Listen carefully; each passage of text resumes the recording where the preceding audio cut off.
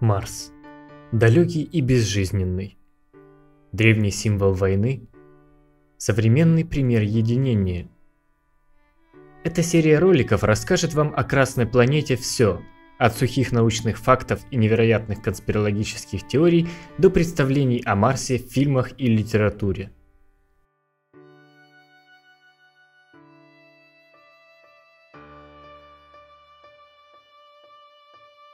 В книге французского астронома Камиля Фламариона «Планета Марс и условия обитания на ней» собраны все известные наблюдения Марса, начиная с 1636 года. Персиваль Лоуэлл, американский бизнесмен и дипломат, разрабатывал теорию о существовании на Марсе высокоразвитой цивилизации. Три его книги стали бестселлерами своего времени.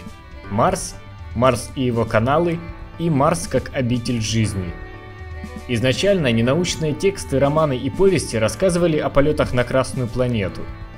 Первый фантастический роман о марсианах через зодиак истории испорченной записи написал американский историк и писатель Перси Грег. Впервые именно в этом художественном произведении описан вымышленный язык, язык инопланетян, и употреблено название астронавт в качестве имени космического корабля.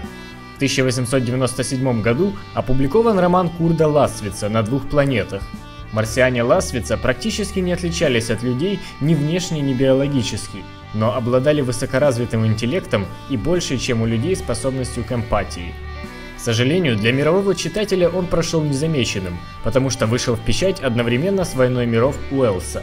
А для советского, потому что его первый перевод на русский язык совпал с выходом «Аэлиты» Алексея Толстого – Книга Уэллса считается первой, где открыта тема вторжения враждебных пришельцев с другой планеты. Позже о завоевании Земли писали Клиффорд Саймак в «Послании с Марса», братья Стругацкие в повести «Второе нашествие марсиан» и Курт Воннегурт в романе «Сирены Титана». Что касается советской фантастики, первым был опубликован роман «Утопия» Александра Богданова «Красная звезда».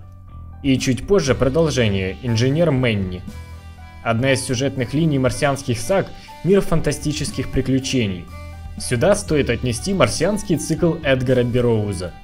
Первый роман серии «Принцесса Марса» был опубликован в 1917 году.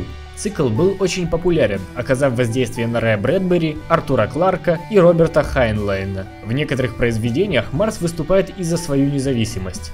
Об этом роман Грега Бира «Движение Марса» получивший в 1994 году Небилу, невероятная эпопея Кима Стэнли Робинсона «Марс», «Зов пространства» Джона Уиндема, «Путь марсиан» Айзека Азимова. Что касается более современной литературы, в 2012 году вышел сборник рассказов «Яблони на Марсе», благодаря проекту «Марс Тефо. Экспедиция в будущее» составленная в 2014 году Джорджем Мартином и Гарнером Дозуа, возвращает нас на холодный, лишенный кислорода Марс, планету красных пустынь, разрушенных городов и вымирающих цивилизаций.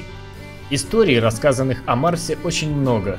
Мы подобрали несколько самых интересных, на наш взгляд, упоминаний о Красной планете в кинематографе. Короткометражка «Путешествие на Марс. 5 минут» снята Томасом Эдисоном в 1910 году, считается первым американским фантастическим фильмом. «Послание с Марса» предположительно первый полнометражный британский научно-фантастический фильм. Советский режиссер Яков Протазанов экранизировал роман «Аэлита», сняв немой черно-белый фантастический фильм. К сожалению, у нас он известен очень мало, хотя признан классикой мировой кинофантастики. В 1950 году появился ракетный корабль XM, Сцены на Марсе этого черно-белого фильма были отсняты в красных тонах, чтобы создать атмосферу иного мира. Запуск первого искусственного спутника и лендирование СССР в области космических технологий возродили интерес к космической фантастике. В результате появилось два фильма «Небо зовет» и «Мечте навстречу». Первый из них о космической гонке между двумя кораблями, советским и американским – во втором Марс становится местом встречи двух цивилизаций – землян и обитателей планеты Центурия. В фильме «Марс» Павла Клушанцева с космонавтами на планету высаживается отважный пес, в честь которого свое имя получил Чубака из «Звездных войн». Это транскрипция слова «собака». «Марс 90-х» — это великолепный фильм Пауля Верхувена «Вспомнить все» по мотивам рассказа Филиппа Дика «Мы вам все припомним» и фантастическая кинокомедия «Человек-ракета». 2000-е ознаменовались выходом марсианской «Одиссеи», Путешествие на Марс, Катание по Марсу в 2006 и мини-сериала Путешествие на Марс. О, совсем забыли. В 1964 году сняли Робинзон Круза на Марсе, о злоключениях астронавта, потерпевшего катастрофу на Красной планете. Никого не напоминает? Не забудьте сходить на Марсианина. Не забывайте подписываться и делиться видео с друзьями. Спасибо.